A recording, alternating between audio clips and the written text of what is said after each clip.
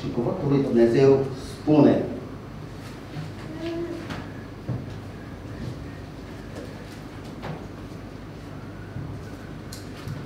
Între farisei era un om cu numele Nicodim, un fruntaș al iudeilor. Acesta a venit la Isus noaptea și a zis, Învățătorule, știm că ești un învățător venit de la Dumnezeu, căci nimeni nu poate face semnele pe care le faci tu dacă nu este Dumnezeu cu el. Drept răspuns, Iisus i-a zis, adevărat, adevărat îți spun, că dacă un om nu se naște din nou, nu poate vedea împărăția lui Dumnezeu. Nicodim i-a zis, cum se poate naște un om bătrân? Poate el să intre a doua oară în pântecele Maicii sale și să se nască? Iisus i-a răspuns, adevărat, adevărat îți spun, că dacă nu se naște cineva din apă și din Duh, nu poate să intre în împărăția lui Dumnezeu. Ce este născut din carne, este carne. Și ce este născut din Duh, este Duh. Nu te mira că ți-am zis. Trebuie să vă nașteți din nou. Vântul suflă încotro vrea și auzi buietul, dar nu știi de unde vine, nici încotro merge. Tot așa este cu oricine este născut din Duhul. Nicodim a zis, cum se poate face așa ceva? Iisus i-a răspuns, tu ești învățătorul Israel și nu pricepi aceste lucruri. Adevărat, adevărat îți spun că dacă adevărat, adevărat îți spun că noi vorbim ce știm și nu mărturisim, ce am văzut și noi nu primiți mărturia noastră. Dacă v-am vorbit despre lucrurile pământești și nu credeți, cum credeți când vă voi vorbi despre lucrurile cerești? Nimeni nu s-a suit în cer afară de cel ce a coborât din cer, adică Fiul omului, Domnul să ne binecuvinteze. Vă rog frumos să vă reașezați jos și Dumnezeu să se îndure de noi.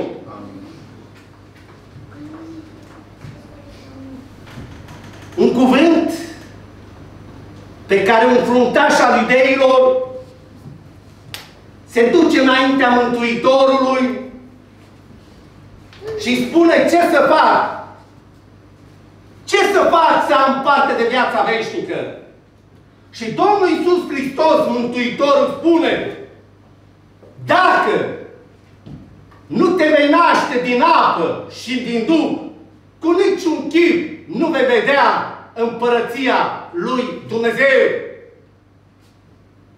Și acum, haideți să abordăm acest pasaj, acest dialog, care Nicodim a vorbit chiar cu Mântuitorul. Să vedem acum ce este această naștere. Și după cum vedem că nașterea din nou este un lucru foarte serios. De ce? Pentru că veșnicia noastră depinde de acest element supranatural creat de Dumnezeu, adică nașterea din nou, slăvit să fie numele Lui. Ce este nașterea din nou? Sau putem spune ceea ce nu este nașterea din nou? Putem spune că nașterea din nou nu este adoptarea unei religii noi. Putem spune că nașterea din nou nu este afirmarea unor lucruri supranaturale, ci mai degrabă experimentarea lor. Putem spune că nașterea din nou nu este improvizația la natura noastră veche, ci transformarea naturii noastre veche în așa fel să ne unim tainic în duc și în adevăr cu Hristos ca să fim o făptură nouă, sau mai bine zis să putem spune că și nu mai trăiesc eu, și Hristos trăiește în mine, să vi se fie numele Lui. Nașterea aceasta, Dumnezeu, El caută pentru noi. El ne-a căutat încă de la început și El produce această naștere din nou, slăvit să fie numele Lui. Biblia ne relatează foarte, foarte multe exemple. De exemplu, haideți să ne aducem prima dată de Adam când a păcătuit. Când Adam a păcătuit, nu Adam l-a căutat pe Dumnezeu, și Dumnezeu l-a căutat pe Adam și l-a întrebat, Adame, unde ești? Când o oaie s-a rătăcit, nu oaia a căutat păstorul, și păstorul a căutat oaia. Când o biserică, să zicem că s-a închetrit sau cineva este închetrit, ce vreau să aduc la cunoștință? Căci Dumnezeu stă la ușă și bate și spune Căci dacă aude cineva glasul meu și va deschide, eu voi intra cu el și el cu mine. Și ce vreau să spun? Lucrul acesta. Că aceasta este căutarea pe care Dumnezeu ne-a căutat pe noi. Și nu noi l-am căutat pe Dumnezeu. Poate unii dintre noi spunea lucrul acesta, că dacă faci un pas, Dumnezeu face 1, 10, 100 sau 1000. Nu e adevărat. Dumnezeu este acela care El ne-a căutat pe noi. Și El este acela care produce în noi această naștere din nou. Și Biblia din nou ne relatează că și noi eram morți în greșelele și în păcatele noastre, în care trăiam odinoară, după mersul lumii acestuia, după Domnul puterii văzducului, a Duhului care lucrează acum în fii neascultării. E în capitolul 2. Și noi, spune cuvântul lui Dumnezeu, și noi eram între ei. Și noi trăiam în poftele noastre, firii noastre pământești. Când făceam voile firii pământești ale gândurilor noastre, ale gândurilor noastre, vedeți? Și eram din fire copii ai minii ca și ceilalți. Dar Dumnezeu el ne-a căutat și El ne-a ales, care e bogat în îndurare pentru dragostea cea mare cu care ne-a iubit, măcar că eram morți în greșelile noastre, ce a făcut? El ne-a adus la viață împreună cu Hristos. Prin har sunteți mântuiți, slăvit să fie numele Lui. Mai departe spune cuvântul că și noi eram aceia, fără Hristos, fără drept de cetățenie, străini de legămintele făgăduinței, fără nădejde și fără Dumnezeu în lume. El este acela care El ne-a căutat pe noi. Și putem spune că nașterea din nou este un element supranatural creat de Dumnezeu prin cuvânt și Duhul Sfânt, slăvit să fie numele Lui. Așa de exemplu, cum Natanael are nevoie de mamă și de tată, și noi, spiritual, avem nevoie de doi părinți. Și care sunt aceștia părinți? Chiar Mântuitorul le vorbește. Nu e părerea lui Pavel, a lui Petru. Spune chiar Mântuitorul Domnul Iisus, dacă nu vă nașteți din apă și din Duh, cu niciun chip nu veți intra în Împărăția lui Dumnezeu. Și ce vreau să spun? Că și noi, părinții care este, este apa și Duhul. Acum hai să vedem. Ce este, ce înseamnă născut din apă, ce înseamnă născut din Duh.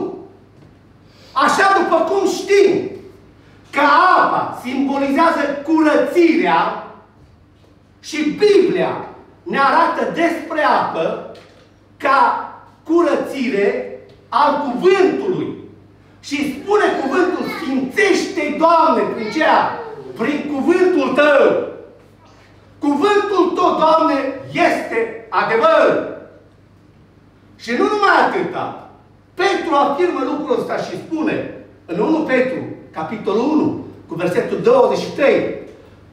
Și noi, spune cuvântul lui Dumnezeu, a fost fiindcă a fost născut din nou, nu dintr-o sămânță care poate putrezi, ci dintr-una care nu poate putrezi prin cuvântul lui Dumnezeu, care este viu și care rămâne în veac, slăvit să fie numele Lui. Acesta este simbolul curățirii prin cuvântul lui Dumnezeu. Deci, Nicodim, el, Domnul i-a explicat că dacă nu te vei naște din apă și din Duh, nu vei intra în Împărăția lui Dumnezeu. Iacov întărește mai mult cuvântul ăsta. Și ne dă relatare în Iacov, capitolul 1, cu versetul 18. Și uitați ce cuvânt. Spune, El de bunăvoie a Lui ne-a născut prin ceea, prin cuvântul adevărului, ca să fim un fel de pârgă a făpturilor Lui, slăvit să fie numele Lui. Iată, iată că și noi suntem născuți prin ceea, prin cuvântul adevărului. Și să vorbea despre har. Să vorbea că putem pierde credința. Se vorbea că putem pierde mântuirea fraților. Dar dacă un om nu este născut din nou, adică din apă și din Duh, cu niciun chip nu va vedea împărăția lui Dumnezeu. Cu niciun chip, dacă tu nu ești născut din nou, din apă și din cuvânt, nu poți ca harul să se mărească. Pentru că cuvântul acela, așa cum arată în Evrei, în capitolul 4 cu versetul 12, auziți ceea ce face cuvântul. Spune că și cuvântul lui Dumnezeu este viu și lucrător, mai tăietor decât orice sabie cu două teișuri. Și uitați, pătrunde până acolo de desparte sufletul și Duhul, încheieturile și măduva. Judecă simțirile și gândurile inimii. Și atunci când cuvântul vine preluat de Duhul Sfânt, El prelucrează această naștere și El te pune într-o situație de poți să zici, Doamne, astăzi vreau să te urmez. Asta este lucru cel mai fundamental pe care Domnul Iisus Hristos spunea lucrul acesta. Dacă nu vă nașteți din apă și din Duh, cu niciun chip nu vei intra în Împărăția lui Dumnezeu. Iată cum Domnul Iisus Hristos, El ne relatează toate lucrurile astea. Căci noi trebuie să fim născuți din nou, din apă și din Duh. Să nu credem că vreau să Domnul Iisus Hristos s-a adresat sau la lucrul acesta că dacă nu ești născut, dacă n-ai făcut botezul în apă sau botezul cu Duhul Sfânt, nu la astea se referea Domnul Iisus Hristos. Și o să vă spun de ce. Din cauză că botezul cu botezul în apă încă nici nu era instaurat. Botezul cu Duhul Sfânt încă nici nu fusese dat, primit. Și de aceea vă spun, acum eu întăresc botezul, e adevărat, dar botezul, mărturisirea, este prima dată care vine nașterea. Nașterea îți produce.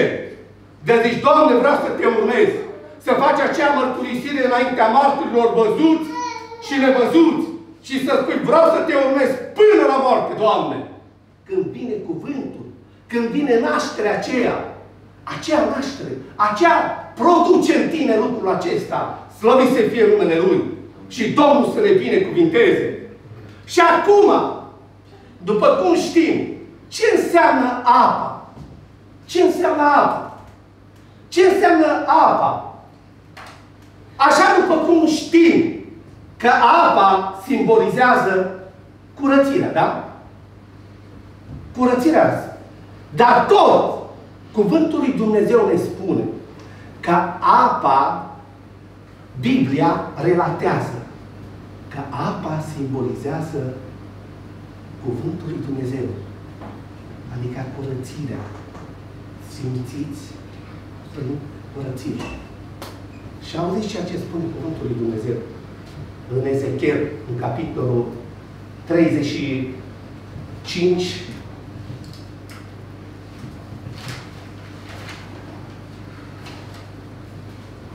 Ezechiel, capitolul 36, început de la versetul 25. Uitați ceea ce ne spune cuvântul lui Dumnezeu. Vă voi stropi cu apă curată. Apa curată care simbolizează cuvântul lui Dumnezeu. Apa aceasta curată, care știm foarte bine că ea nu are puterea să le curețe păcatele. Și detergentul care le curăță păcatele este sângele lui Hristos, slăvit să fie numele Lui. Și tot Biblia ne relatează că și noi avem intrare în Împărăția lui Dumnezeu astfel, fiindcă prin sângele lui Hristos avem o intrare solidă în locurile preasfinte, pe calea cea nouă pe care ne-a trasat-o El, adică prin perdeaua dinăuntru a trupului Său. Noi avem această intrare la El prin sângele Lui. Și tot prin sângele Lui, de la Golgota, El a devenit cea Mântuitorul nostru. Prin sângele de la Golgota, El a devenit modelul nostru. Prin sângele de la Golgota, El a devenit cea supraveghetorul sufletelor noastre adică avocatul, slăvit să fie numele Lui. Vă voi stropi cu apă curată și, voi, și veți fi curățiți. De ce? E cuvântul lui Dumnezeu. Vă voi curăți de toate spurcăciunile voastre și de toți idolii voștri. 26. Vă voi da aceea o inimă nouă și voi pune în voi un duc nou, voi scoate din trupurile voastre de piatră și vă voi da o inimă de carne. Și 27, voi pune Duhul meu în voi și vă voi face să urmați poruncile mele și să păziți și să împliniți slăviți să fie numele Lui legile mele. Asta este, asta este dialogul pe care Domnul Iisus Hristos s-a așteptat la Nicodim să facă această legătură a acestui verset, care era în Vechiul Testament, pentru nașterea din apă și din Duh. Ăsta e versetul de bază, să știți, care Domnul Iisus Hristos, acesta era adresarea Lui. Și acesta El spunea lucrurile acestea. Acum, să vedem naște cuvântul lui Dumnezeu. Ce poate lucra cuvântul lui Dumnezeu în noi? Ce face cuvântul lui Dumnezeu? Sau cine era cuvântul lui Dumnezeu? Că se vorbește despre cuvântul lui Dumnezeu. Știm și cunoașteți foarte bine că în Ioan spune că la început era cuvântul, cuvântul era cu Dumnezeu, iar cuvântul era chiar Dumnezeu. Iar în 14, versetul 14 spune că Cel a locuit printre noi, plin de har și de adevăr, slăvit să fie numele Lui. Cuvântul acesta, acesta te transformă, preluat de Duhul Sfânt și El lucrează ceea? Nașterea. Cuvântul acesta te face ca cartea aceasta legii să nu dispare de la gura ta, cugeta asupra ei zi și noapte. Și atunci, spune cuvântul lui Dumnezeu, tot ce este scris în ea, aia să face. Și atunci vei izbuti în toate lucrările tale și atunci vei lucra cu înțelepciune cuvântul lui Dumnezeu. Ăsta e cuvântul. Ăsta preluat de Duhul Sfânt, slăvit să fie numele Lui. Ce mai face cuvântul lui Dumnezeu? Auziți ce mai face. Haideți să mergem acum în faptele apostolilor și să vedem de la capitolul 8 Fapte Apostolului de la capitolul 8, să vedem ceea ce poate face. Cum transformă omul.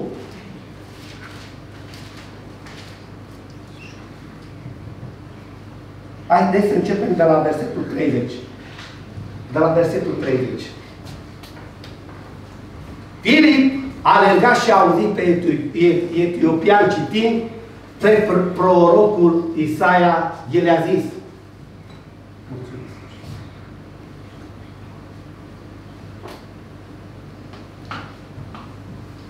Înțelegi tu ce citești? El citea din Biblie. nu a răspuns. Cum aș putea să înțeleg dacă nu mă va călăuzi cineva? Și a rugat pe Filip să se suie în cal și să șadă împreună cu el. Mai departe, locul de scriptură pe care îl citea, deci citea, era acesta. el a fost dus ca o oaie la tăiere și ca un mier fără glas. Înaintea celui ce îl pundea, așa nu și-a deschis gura. În smerenia lui judecata i-a fost luată. Și cine va zugrăvi pe, pe cei din timpul lui? Căci viața lui i-a fost luată de pe pământ. Oamenul a zis lui fiul, roagă-te, rogă-te. Despre cine vorbește prorocul astfel? Despre ține sau despre vreun altul? Atunci Filip a luat cuvântul și a început de la Scriptura aceasta și i-a provăduit pe Isus. Aleluia! Acesta este datoria fiecăruia care noi venim. Să provăduim pe Mântuitor, să provăduim puterile minunate acelea ce ne-a izbăvit de sub puterea întunericului și ne-a izbăvit în împărăția Fiul Dragostei. Și spune, pe când își urma ei drumul, au dat peste o apă și nu a zis, uite apa, ce mă împiedică să fiu botezat? Filip a zis, dacă crezi în toată inima, se poate. nu a răspuns, cred că Iisus Hristos este Fiul lui Dumnezeu, slăvit să fie lumea Cine produce acea mărturisire la botez? Cine? Scriptura. Dacă nu te vei naște din apă, care apa, Biblia spune ca un simbol al cuvântului.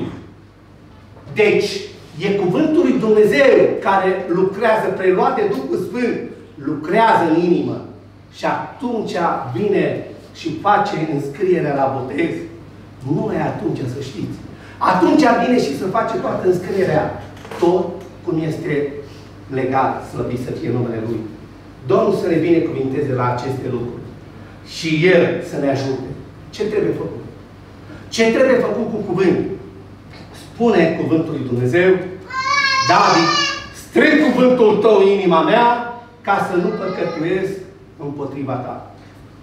Spune tot în salm că cuvântul tău, Doamne, este o candelă pentru mine și o lumină pe cărarea mea. Uite ce face cuvântul lui Dumnezeu.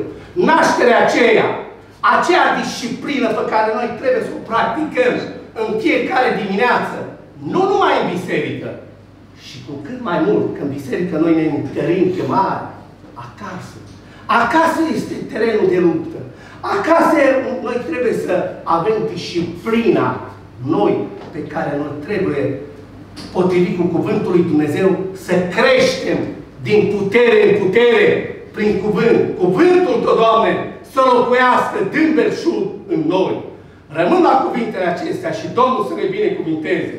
El să ne întărească, să ne ajute să rămânem înrădăcinați, să înțelegem că nașterea din nou este din apă și din Duh. Și Domnul să ne binecuvinteze conversația pe care a avut-o cu Nicodim, aceasta se referea Domnul Iisus Hristos, partea din Ezechiel de la capitolul 36, începând de la versetul 25, aceea dorea Domnul Iisus de a explica dacă nu te vei naște din apă și din Duh. Și Domnul să ne ajute și El să ne binecuvinteze. Amin.